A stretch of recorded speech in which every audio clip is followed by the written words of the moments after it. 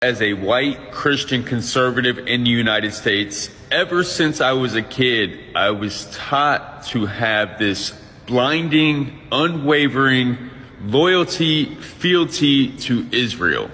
I was conditioned to believe that Israel was the promised land and the Israelis were God's chosen people and all the Arabs surrounding Israel just wanted to annihilate them and wipe them completely off the map.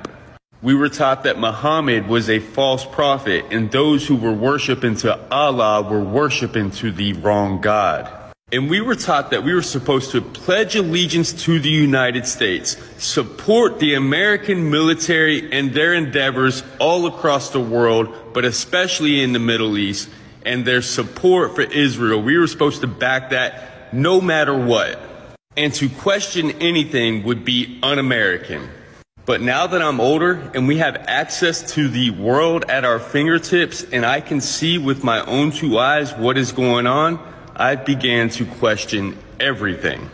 I realized that we bought the lie that Western media propagates to us. We bought the lie that the American church or the Western church propagates to us. I don't believe in the duality of the world. I don't believe that we are good, that America's good, that Christians are good, that Jewish people are good and that Arabs and Muslims are bad and evil. We've always been taught that Arabs, Palestinians, Iraqis, Iranians, they're jihadists, they're terrorists, they're thugs, they're predators, they're savages. These are the words that we've always used to describe human beings. We are taught that Israel has the right to self-defense, that they are morally superior in this battle.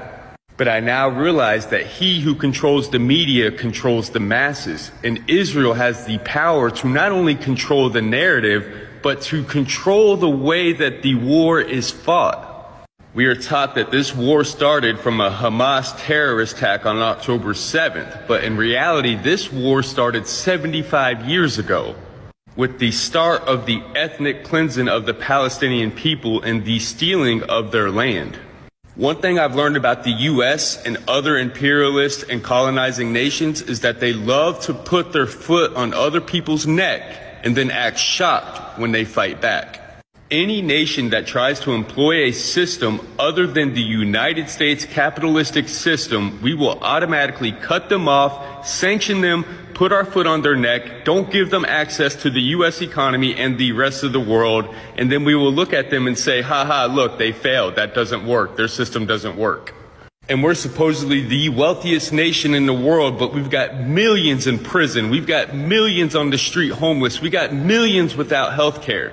And we say to the rest of the world that we're morally superior and our system's the best. And when our own people begin to question it and speak out against it, we are told that we are unpatriotic and un-American, and if we don't like it, go to those other countries whose system doesn't work because America has her foot on their neck.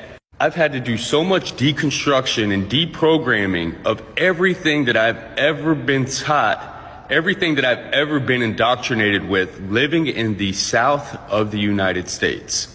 We love to say that we are all human. We claim that all lives matter. Yet we're still supporting the bombing of innocent civilians. I've said it since day one, and I'll say it again. I will always stand on the side of the oppressed and free Palestine.